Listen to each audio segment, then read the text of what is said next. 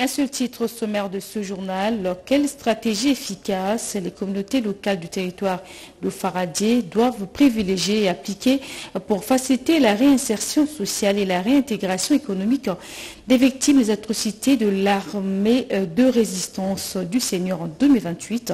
L'esquisse des pistes de solutions dans ce journal. Madame, Messieurs, bonsoir et bienvenue au 19h. On démarre ce journal à Cité de l'Union africaine, où le chef de l'État, Félix-Antoine Tshisekedi, a échangé avec le chef spirituel et représentant légal de l'église kimbangiste, son éminence Simon Kimbankiangani. L'audience a été suivie pour nous par la presse présidentielle.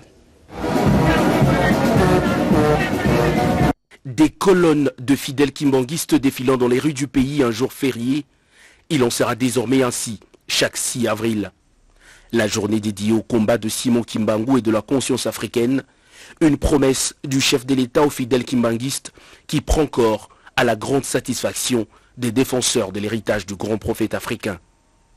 Après une première célébration réussie en 2023, le chef spirituel de l'église kimbanguiste est venu personnellement remercier le président de la République pour la concrétisation de sa promesse faite en 2021. Simon Kimbangu Kiangani sollicite le soutien et les prières de ses fidèles pour le président Félix Antoine Tshisekedi.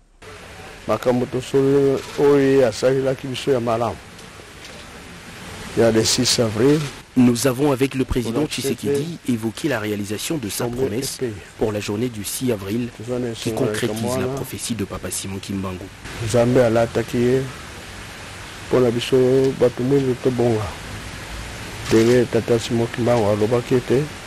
Le 6 avril ekosala mosala kuna tozokende yango emonani likambo tolobi na lingomba Cet événement est un motif de joie pour nous les kimbanguistes.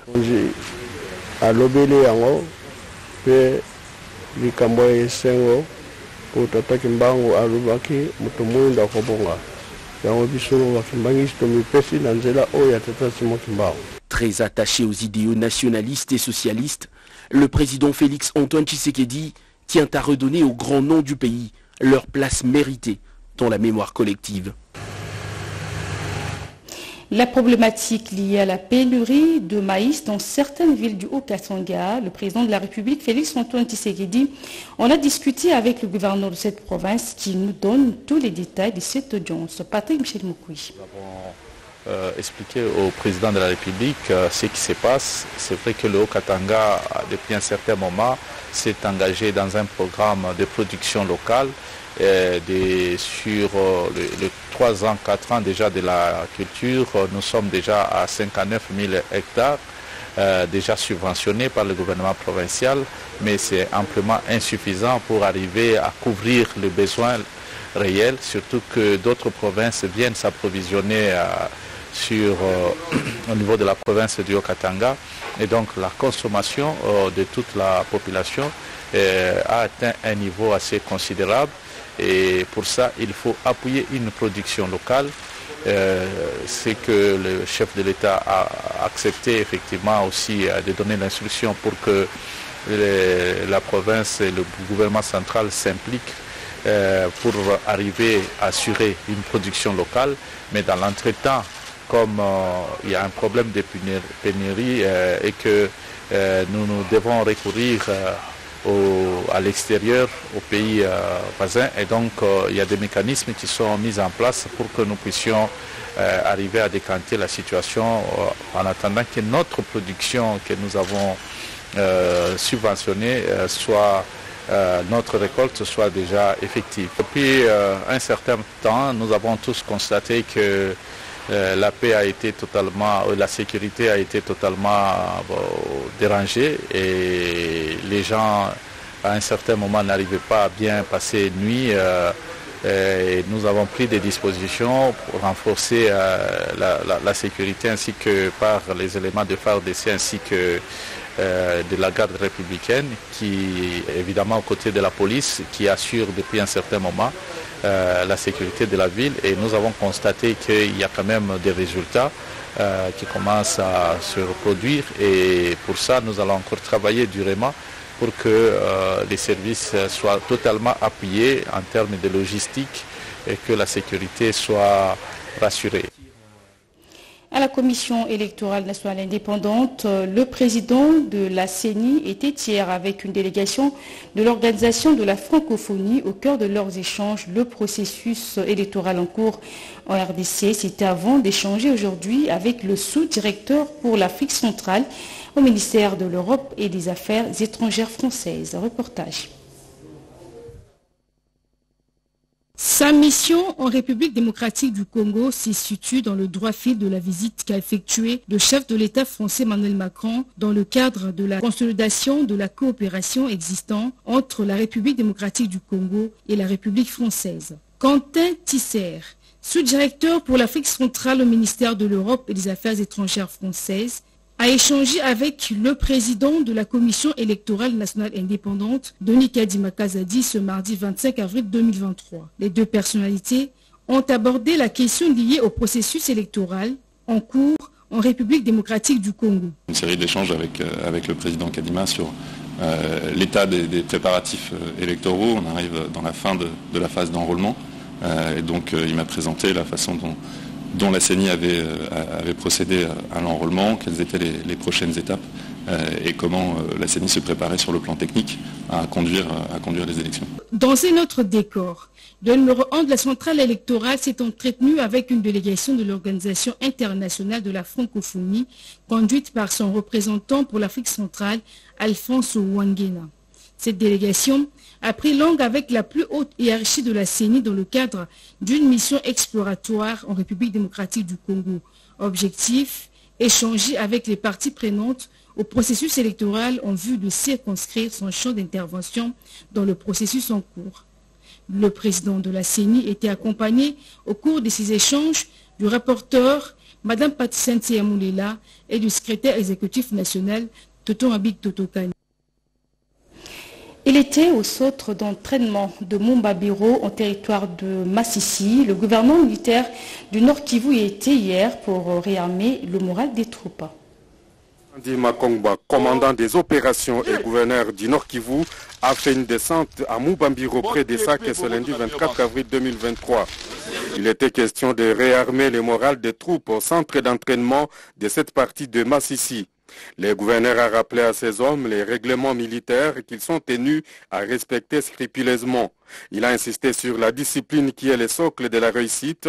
Le, lieutenant général Constant Dima Kongba a invité les troupes au centre d'entraînement à promouvoir les valeurs et à éviter les antivaleurs telles que la consommation de la drogue, les tirs désordonnés et non autorisés, la saleté et un accoutrement non conforme au règlement militaire. Votre mission principale demeure la sauvegarde de l'intégrité du territoire ainsi que la protection de la population et de ses biens, a-t-il lancé.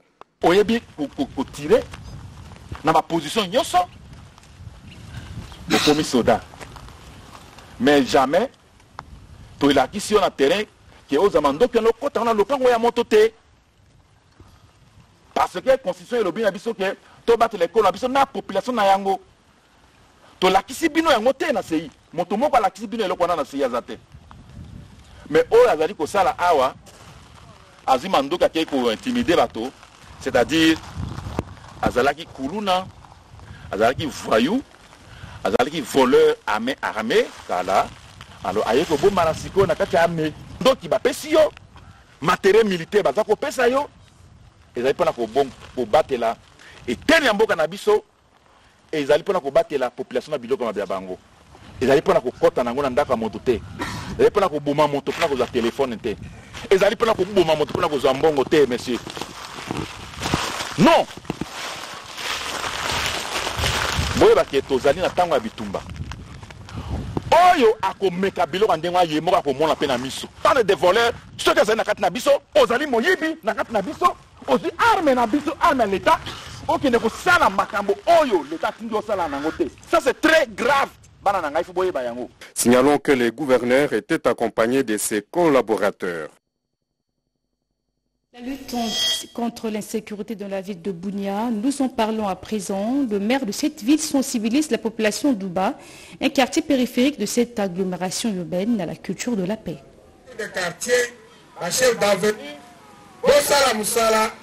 Une matinée de sensibilisation à la culture de la paix au cours de laquelle le maire de la ville de Bougna, le commissaire supérieur principal Mboui Kola Jean Bosco a appelé la population du quartier Ouba qui constitue l'une des portes d'entrée de la ville de Bougna à doubler la vigilance pour barrer la route aux ennemis de la paix qui sont souvent porteurs de discours de haine et de l'insécurité. J'ai dit qu'il n'y a pas de problème dans la ville de Bougna. Mais la ville de Bounia est victime des conséquences qui se passent dans les périphéries. Alors nous devons ouvrir les yeux.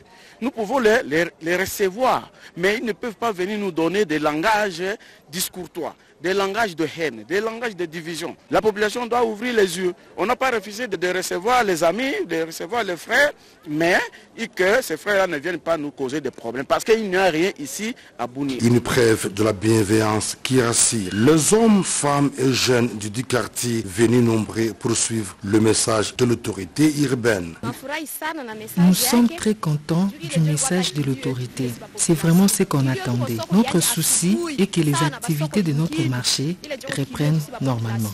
Redynamiser les relations civilo-militaires, les rapprochements entre le gouvernant et le gouverné en vue de créer la confiance pour arriver à la paix durable, l'une des approches mises en place par le gouverneur militaire de l'Uturi au-delà de la stratégie militaire qui porte déjà ses fruits dans plusieurs parties de la province de l'Ituri.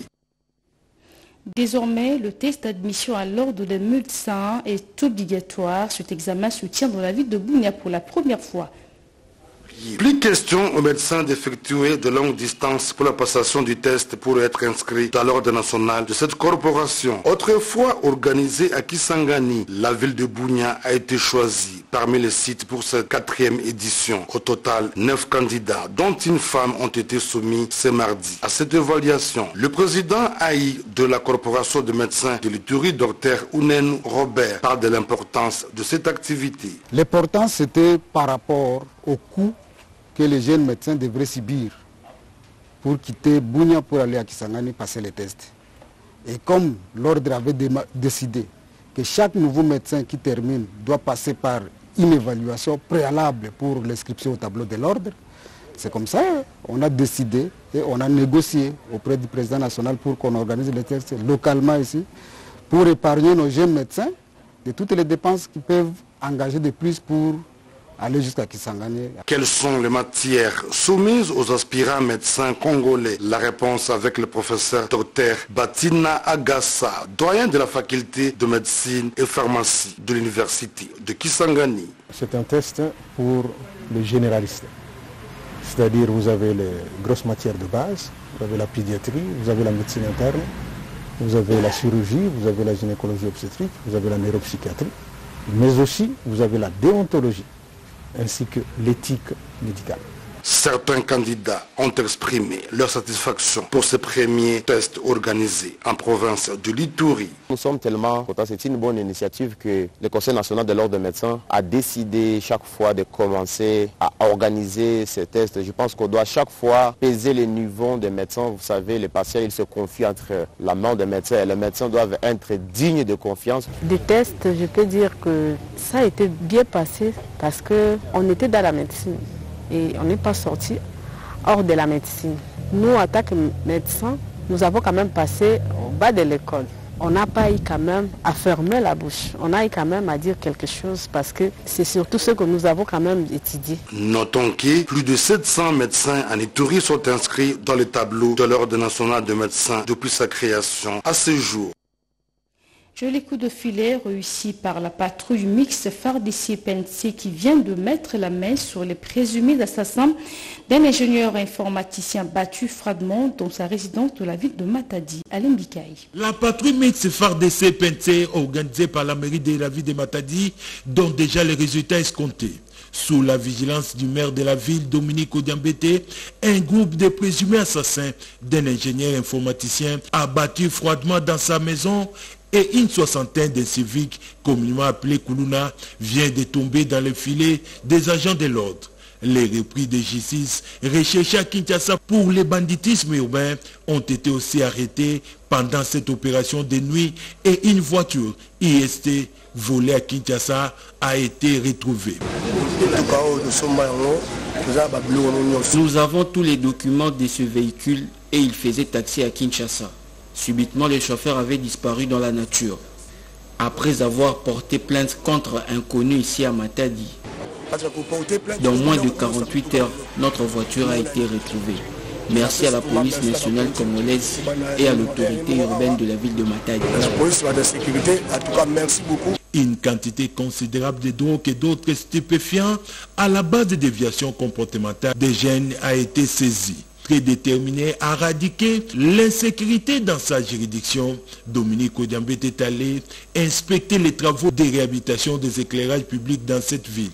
Une opération soutenue par la population de cette ville portuaire. Une matinée politique au cours de laquelle plusieurs animateurs ont été installés au Kassai central. La cérémonie a été organisée par la génération Fatih rénovée. Le drapeau de la vision Fatih rénovée va désormais flotter au Kassai afin de pérenniser la vision du chef de l'État Félix Antoine Tshisekedi dans tous les coins et recoins de la République démocratique du Congo. La cérémonie d'installation est intervenue ce samedi 22 avril 2023 cérémonie présidée par le secrétaire général Jefté Donzitalois qui a vu à ses côtés une forte délégation de filles et fils du Kassai oriental accompagné le secrétaire général jusqu'au siège du parti, lieu de la cérémonie.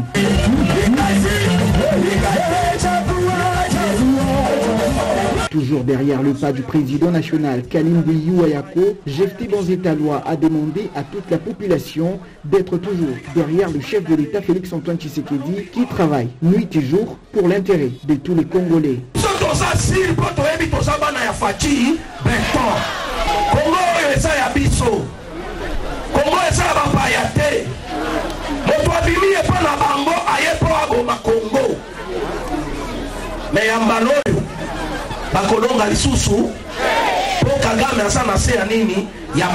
Après plusieurs doléances soulevées par la population, entre autres le manque du courant électrique et de l'eau potable, le secrétaire général Jeté Bonzetalois les a rassurés de l'implication du chef de l'État pour que tous ces problèmes trouvent solution.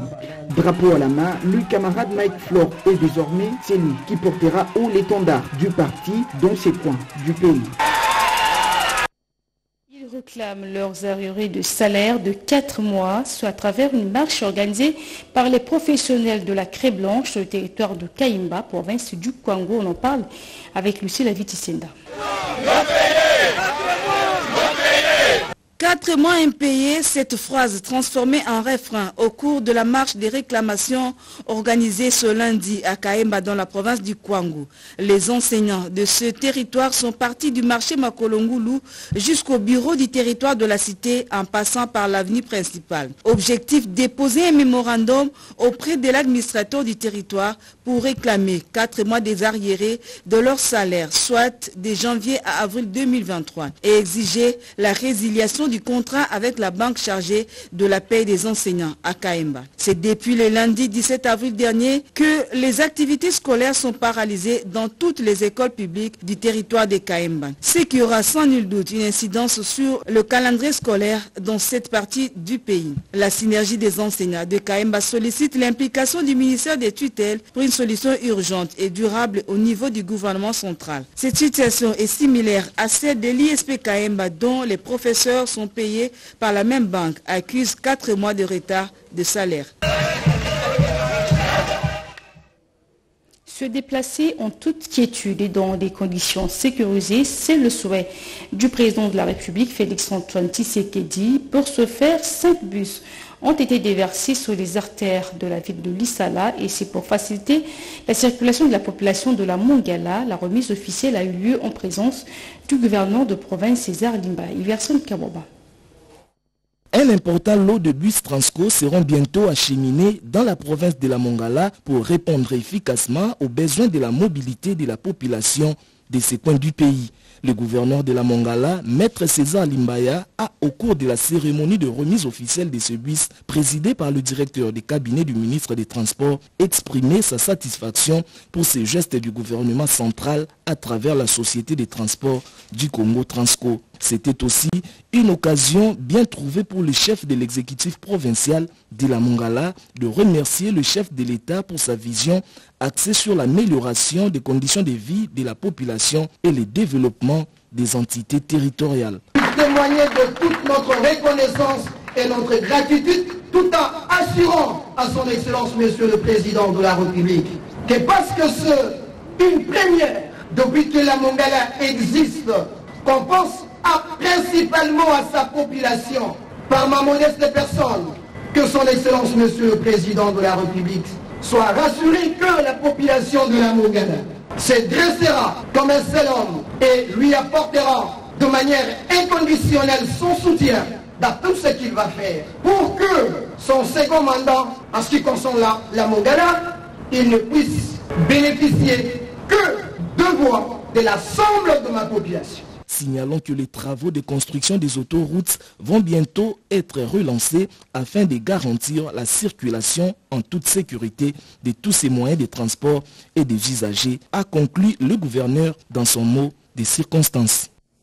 Autre chose, la redevance audiovisuelle de la radio-télévision nationale congolaise, on en parle de plus en plus dans le Haut-Tuélé. Le directeur provincial Damas Sissolé est en pleine campagne de sensibilisation des acteurs impliqués dans cette opération. Nathalie Kabea. C'est un véritable porte-à-porte auquel s'emploie le directeur provincial de la RTNC Otouélé, Daman Sessole Kesole Kaya, accompagné de certains de ses collaborateurs pour rendre effective la redevance audiovisuelle de la RTNC dans son entité, tant à la Direction générale des douanes et axis, DGDA, qu'à la Direction générale des impôts, DGI, des échanges sur base des textes légaux consacrant la perception indirecte de cette taxe parafiscale sont prometteurs. Nous les faisons déjà c'est question de mettre à votre disposition vos dûs, puisque nous les percevons déjà. Peut-être question d'avoir des statistiques par rapport à ce que nous avons déjà fait et ce que nous aurons à faire dans l'avenir. Les services publics et provinciaux de l'entrepreneuriat, petites et moyennes entreprises, ainsi que du tourisme ne sont pas en reste. Nous sommes des personnes morales pour bien éclaircir aux opérateurs économiques, surtout les gens qui ont des appareils téléviseurs, dans des hôtels, restaurants, ainsi des bistrots. Nous sommes l'ami pour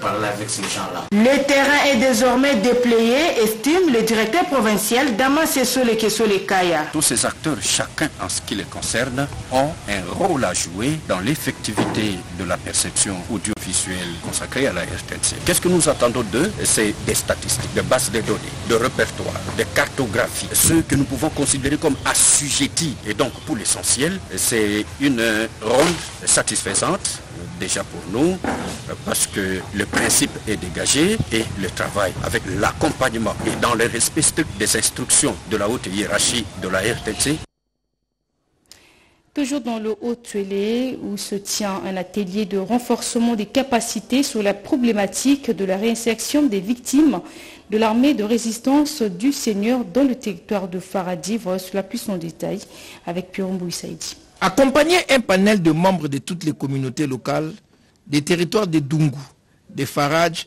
Nyangara et Ango dans la province du Haut-Tuélé, dans tous les secteurs cruciaux et domaines de la vie nationale en général, et surtout dans les processus de la réinsertion socio-économique des victimes des atrocités de la Lorde de résistance armée LRA en 2018 d'autre part, dans cette partie du territoire national, principale articulation de l'atelier multisectoriel portant problématique de la réintégration sociale des dites victimes organisé par la structure philanthropique Action pour la promotion rurale à Pérou dans les territoires des Faradj. C'est depuis 2017 qu'on a mis un programme. On a commencé ça en 2017.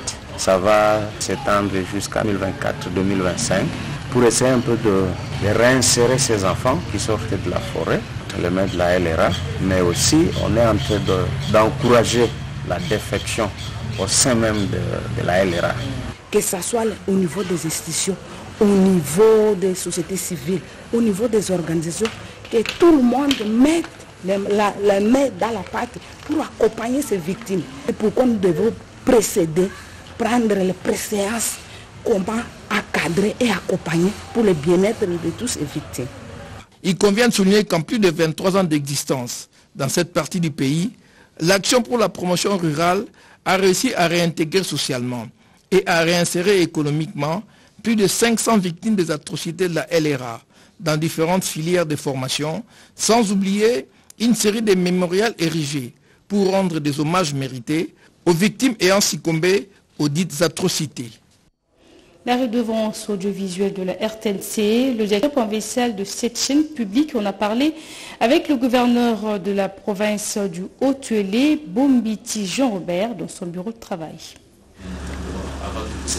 C'est au cours d'une audience lui accordée que le gouverneur de Bazouélé, le professeur Nzanza Bombiti Jarabert, reçoit dans son cabinet du travail le directeur provincial de la RTNC Bazouélé, M. Patrick Alima Chukio. Dans leur tête à tête, le numéro 1 de la presse officielle audiovisuelle du Bazouélé remet à main propre le courrier du directeur général de la RTNC, Madame Sylvie Elengue, au gouverneur de province avant de lui faire la synthèse de l'atelier sur la récolte de la redevance audiovisuelle de la RTNC tenue à Kinshasa. De sa le gouverneur Nzanza Bombiti rassure à son l'accompagnement de son gouvernement pour la réussite de ses opérations dans le Bazouélé. Au sorti de l'audience, le directeur de la RTNC Bazouélé donne la lumière sur la redevance audiovisuelle. J'étais à Kinshasa dans une conférence concernant la redevance et je suis venu d'abord faire la restitution de cette activité-là qu'on a à Kinshasa. Madame l'artiste générale, DG Sylvie Elengue m'avait remis pour le gouverneur. Je suis venu aussi remettre ce document et parler aussi du gouverneur de son appui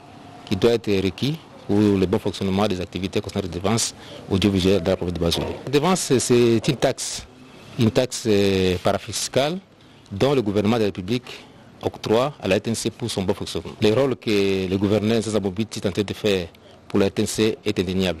C'est pour ça qu'il ne peut pas hésiter d'accorder encore son appui pour ce conseil de défense de la province de Bazouélé. Décidément, au lendemain de son audience au gouvernorat de province, Patrick Alimatukio préside une assemblée générale avec tout agent de la chaîne publique de Bouta pour un briefing sur la redevance audiovisuelle de la RTNC.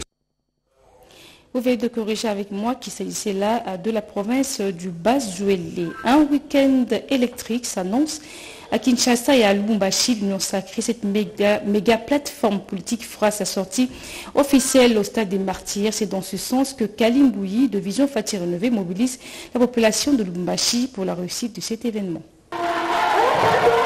Le 29 avril 2023, un grand événement s'annonce à Kinshasa et dans le Haut-Katanga, Kalim Bouyi mobilise ses troupes pour un autre événement similaire en province à la même date.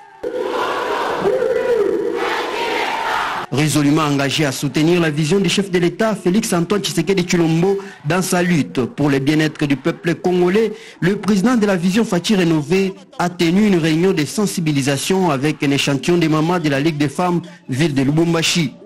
Objectif, les sensibiliser en vue de leur participation active à la grande marche de soutien à l'Union sacrée dont la sortie officielle est prévue le 29 avril 2023 à Kinshasa au stade des martyrs.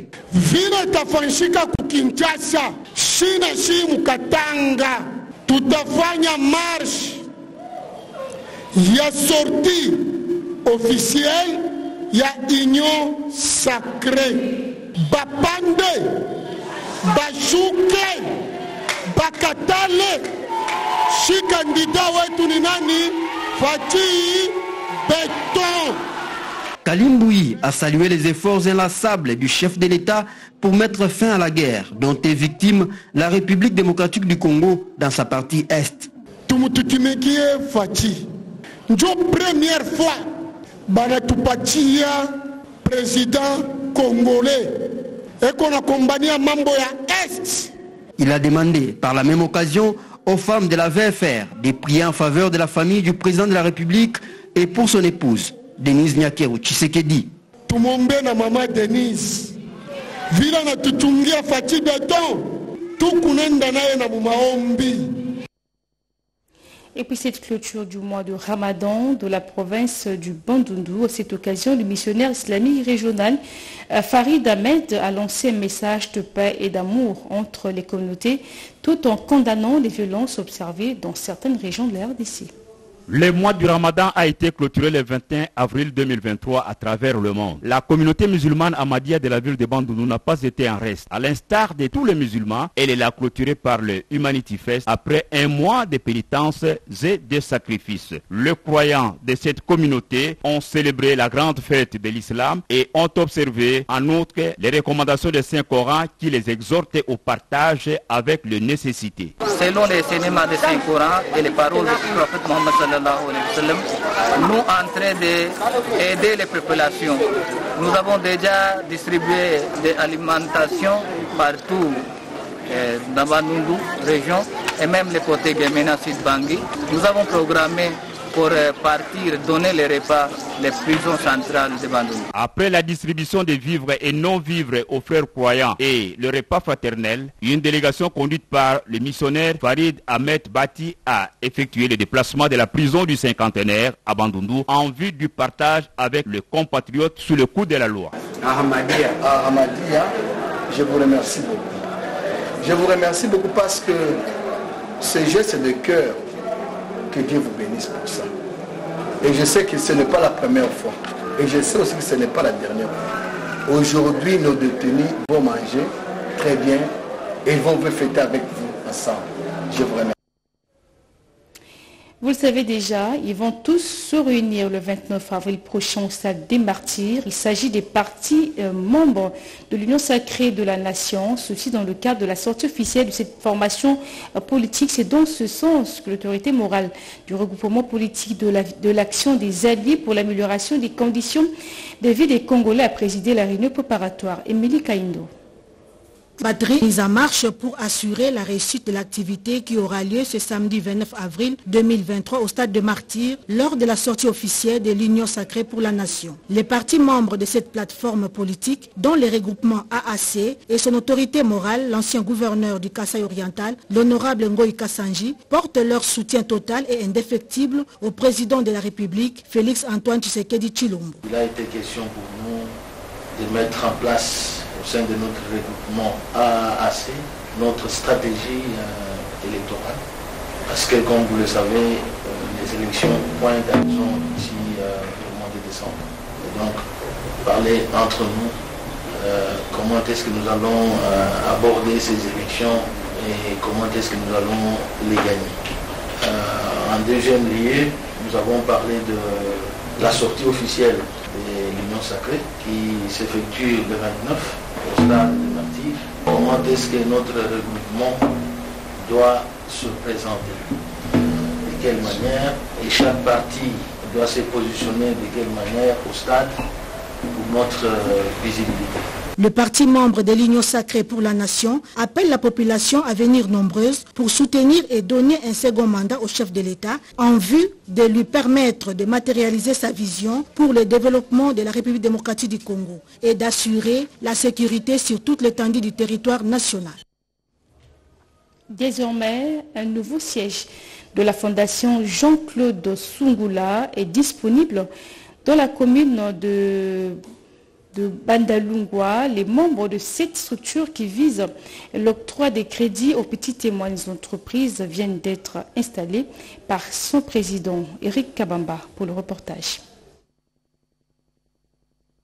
Elles se sont donné rendez-vous pour réfléchir sur la question du développement de la commune de Limba et exprimer leur soutien indéfectible à l'un de leurs Madame Nobertine Matanda, notable de cette commune et vice-présidente de l'interfédéral de l'ACP, qui tient à tout prix à renouer avec les bonnes habitudes et les valeurs sociales et morales de cette municipalité, jadis commune d'intellectuels. L'objectif est de proposer les mécanismes et les perspectives nouvelles d'encadrement de jeunes garçons et filles mères voilà, mesdames et messieurs, c'est la fin de ce journal. Merci à vous de l'avoir suivi. Merci également à Merveille Mikomo pour d'avoir concouru à sa rédaction. Je vous retrouve demain à la même heure, 28 des programmes sur nos antennes.